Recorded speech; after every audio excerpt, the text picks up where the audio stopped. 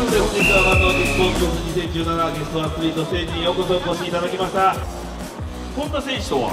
やったことは？本当はないいやいや。順位じゃないから順位じゃないから。さあそれではですねここからはですね元サッカー日本代表北澤さん。神業のドリブルテクニックを持つ岡部さん。お二人によりますね。ドドリブル体験レッスン。あ本田選手も来ていただいております。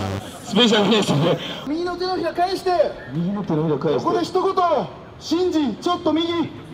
せーの。誰もやらへん。はいじゃあ気をつけ。レイよろしくお願いします。よろしくお願いします。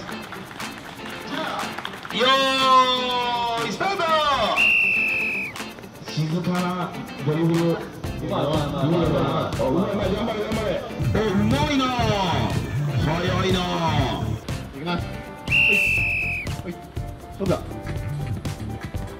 出たーヒールリフター。それちょっとでかい技足しすぎじゃない最初から。やっぱちょっと滑りやすいからね。おーすごい。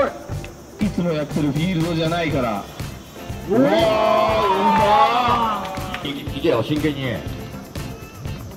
おいい声ですよおこんなに股抜かれることってないですよね。俺もね股抜きされるってサッカー選手にとって一番ショックなんですよ。そうですよね。うわでか？ージェイメッシ。ちょっと待って紐大丈夫？今いいよいいよ俺が右足やるから左足やってあげて。じゃあ僕見とっていらんいらん一番いらんポジションいらない。うん。対応してるよ。一回。お上おハンドステップ踏んでる。ほら。うわ5戦1二の池うわー。いやホンダがやりますよホンダはじゃあ喋っといて。喋っといて。俺がやるわおおおおいいねいいねおおおお